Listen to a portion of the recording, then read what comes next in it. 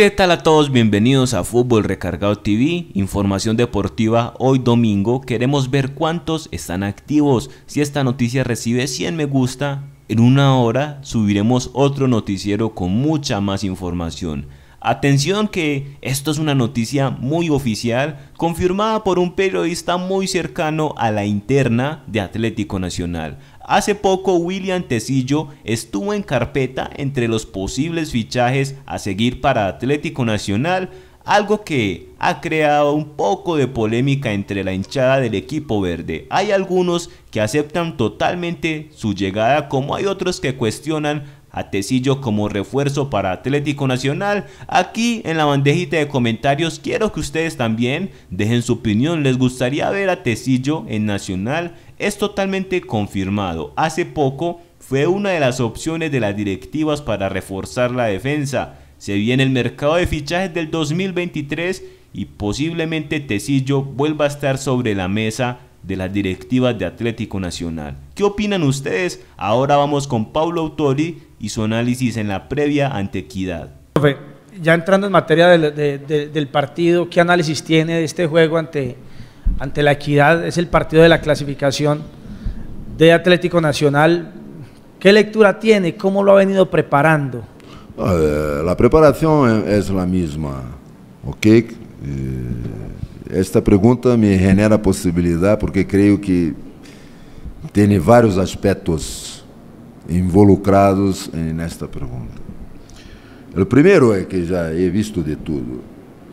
Si me Echo uma mirada hacia atrás, há muitos anos atrás, em Suécia, 92, campeonato europeu. Dinamarca não havia classificado e, por um tema político da ex-Jugoslávia, eh, se quedou fora e Dinamarca agarrou este cupo e foi campeão. O futebol te dá, uno quando tem tempo nisso, já vi muitas coisas passarem. Então, outro momento que para mim é importante, em las campanhas vitoriosas, de que eu estive involucrado, sempre foi muito claro para mim. Chegamos, vamos afrontar uma final. Não queiras cambiar as coisas.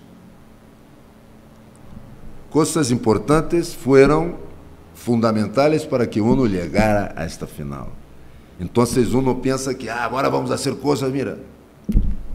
A vida no futebol também me passou isto e me ensinou isto de uma maneira muito clara. Há que fazer aquilo que foi responsável para que uno esteja involucrado no final. E não criaram, porque as finais já generam um, um, um enorme eh, crescimento de los níveis emocionais. E se uno intenta ser coisas distintas, mais são. Então, nós estamos preparando o equipo para hoje, para amanhã, para o próximo ano, ok? Pero queremos estar involucrados. Eh, temos o dia del hincha verde. Então, queremos generar para os hinchas verdolagas que sempre llenan los, el Atanasio e os estádios, mira, que ha passado em, em Pereira. Queremos oferecer esta classificação e depois, depois pelear o título, ok? O que, isto é nosso sonho. O que está entre esta realidade e nosso sonho? Lá